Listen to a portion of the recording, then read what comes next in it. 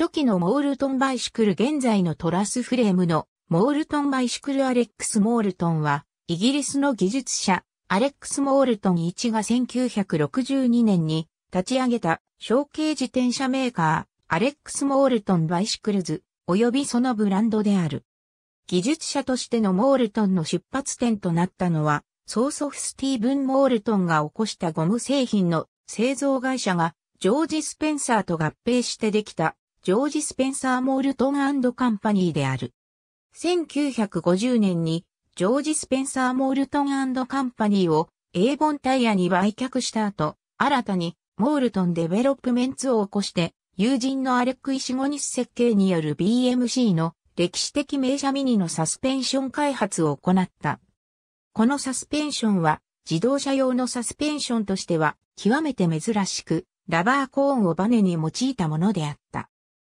1956年のスエズ動乱以降、石油資源の問題に関心を持つようになり、1962年にアレックス・モールトン・バイシクルズを設立して、小径の高圧タイヤに独自のゴムサスペンションを持ち、ハンドルポストサドルポストメインフレームの形状から F フレームと呼ばれるフレームを持つ小径車、モールトンバイシクルを開発したが、1960年代末には同社をラレー自転車に売却した。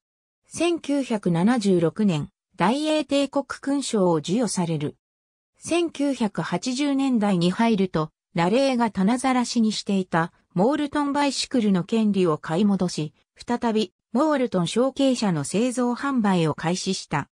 モデルは小径、高圧タイヤという部分は同じだが、外見は以前のモデルと大幅に異なる特徴的なトラスフレームを採用し、溶接等の手作業部分を多く含むものである。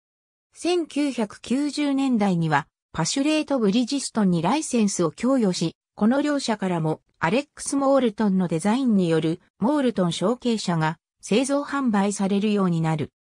パシュレー生産のものはパシュレー・モールトンと呼ばれ、アレックス・モールトン同様のトラスフレームだが、サスペンションや一部の部品を簡略化することでコストを抑えており、ブリヂストンから販売されているものは、ブリヂストンモールトンと呼ばれ、初期のアレックスモールトンのような F フレームを模したモデルである。2012年12月9日、死去。92歳没。